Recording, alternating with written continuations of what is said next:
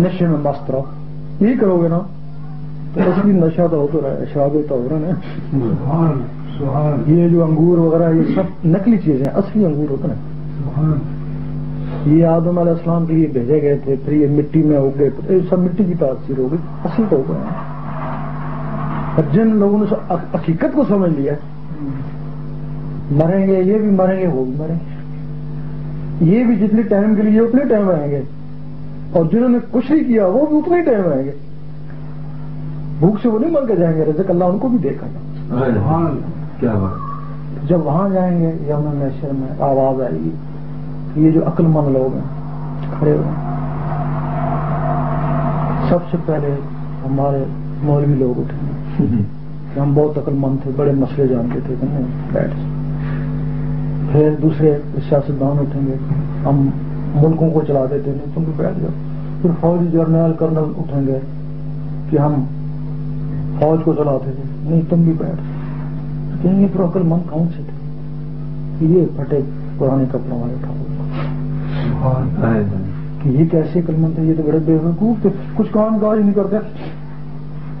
बताओ तुमने वहाँ के लिए बनाया तो वहीं छोड़ा है ना? इन्होंने यहाँ के लिए बनाया अब इनके यहाँ तक तो मतलब मांगिए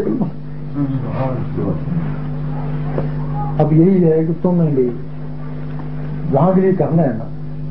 कुछ लोग फिर यहाँ के लिए कम करते हैं वहाँ के लिए ज़्यादा करते हैं। कुछ लोग फिर सिर्फ़ यहाँ वहाँ के लिए करते हैं। और कुछ लोग यहाँ के लिए करते हैं वहाँ के लिए भी करते। हैं बेहतर वही है जो यहाँ के लिए भी कर लें और वहाँ के लिए भी कर लें।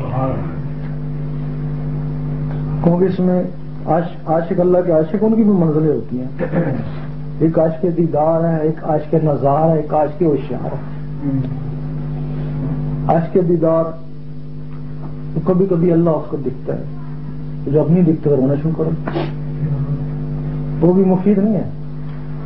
रोता जो है। दूसरा आज के नजार वो उसी नजारे में रहता है लोगों की परवाही नहीं। वो भी वो मुफीद नहीं है। और तीसरा आज की होशियार। लोगों से भी रबता रबता रखता अल्लाह से भी रबता रखता वो होशियार है ना। और तुमको भी होशियार है आगे का भी करो यहाँ का भी करो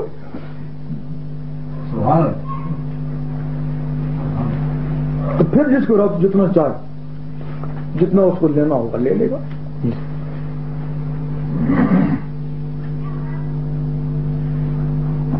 तो ये भी एक इलम है। कोई इलम के बगैर हम बात नहीं कर रहे ये इलम तरीकत है। एक इल्म शरीयत हुई है जो नमाजें गलत उनको उलमा ने सिखाए तो ये इल्म तरीकत है जो दिल को अल्लाह में लगाते हैं। फिर इल्म हकीकत आ जाता है। उसमें एक साल हजूर पाक खुद तालीम देते हैं। फिर इल्म माफत आ जाता है। फिर सात दिन में उसको सारे खजाने वगैरह सब कुछ दुनिया के दिखाए जाते हैं। अल्लाह ताला से दीदार कराया जाता है, सात दिन के अंदर। फना बका लका ये सब तुम्हारे अंदर है अगर चाहो तो। अगर ना चाहो तो फिर ये दुनिया में नकल ही है। जब तुम असल बन जाओगे एक में लिखा हुआ है अभी शरीफ में कि जिस घर में कुरान हो वहाँ शैतानी नहीं होती। लिखा है ना? तो कुरान तो हर घर में पड़े हुए शैतानियाँ नहीं हो रही हमने कोठों पे भी देखे हैं तो ऐसे जो है वो भी सुबह ले गए कुरान पढ़ना शुरू कर देते देखा है? तो फिर वो वो कौन सा कुरान है? अगर ये कुरान है तो फिर हदीस गलत है। क्यों जी? ये तो घर में मौजूद है अगर ये कुरान है तो फिर हदीस गलत है ना। फिर हदीस बयान क्यों करते हो? वो वो कुरान नहीं है ये नकली तो यहीं से कागज़ लिया। इसके लिए अर्थ तो आप नहीं गए ना।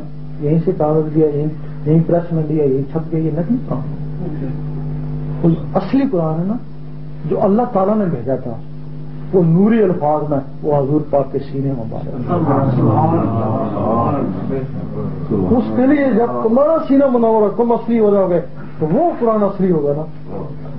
फिर वो कुरान सीने में आएगा ना, हजूर पाक सीने से सीना लगाए।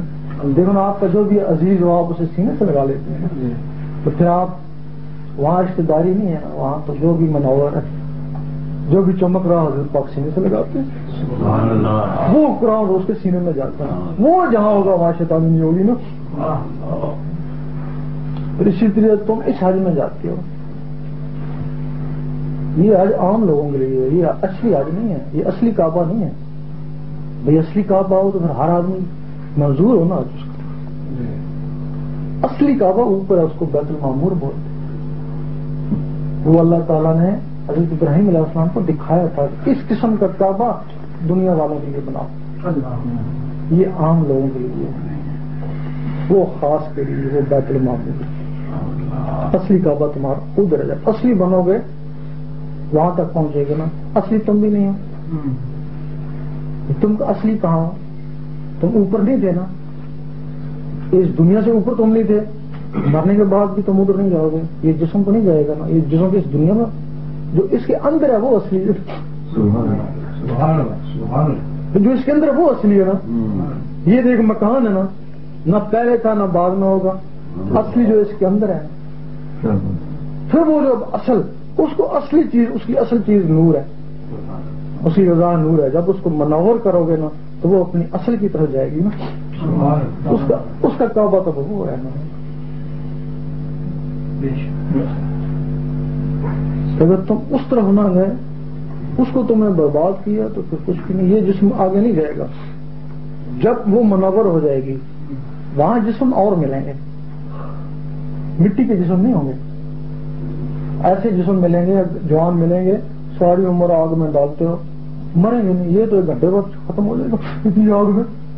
वो ऐसे जिसम लेंगे कि सारी उम्र सजा मिलती है लेकिन मरे ऐसे जिस्म। जो बैठती हैं वो ऐसे होंगे सारी उम्र बैठों में रहेंगे बुढ़े नहीं होंगे वो ऐसे जिस्म मिलेंगे दारो मदार जो जिसम के अंदर है उसका वो जो तुम्हारे अंदर है उसका सारा दारो मदार है इसकी गजा मादी है उसकी गजा नूरी है अब जब इसके लिए तगोदो करते हो तो कुछ उसको भी गजा दो इसलिए कितनी तगोदो है कितनी मुसीबत करते हो